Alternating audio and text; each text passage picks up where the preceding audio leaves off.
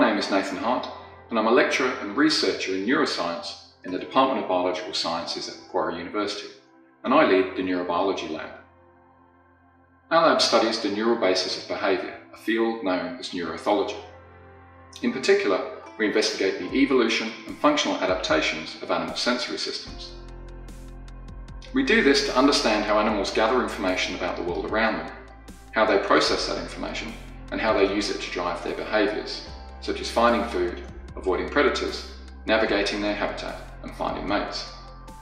We study a range of animals from sharks, rays, and other fish, through to reptiles, birds, and mammals.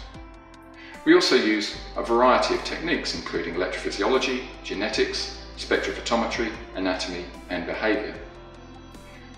Much of our recent work has focused on sharks and trying to understand how they detect and identify their prey using vision, smell and electroreception.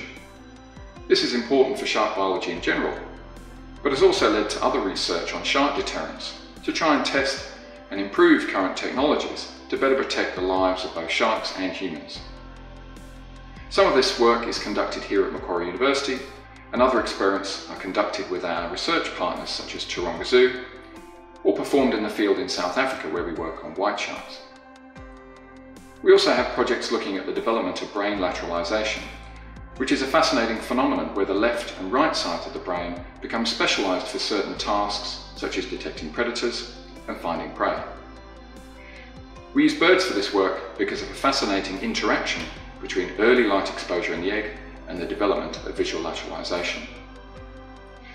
Macquarie is a great place to do this kind of research because of the broad range of expertise in both animal behaviour and neuroscience, and of course all the great research facilities here.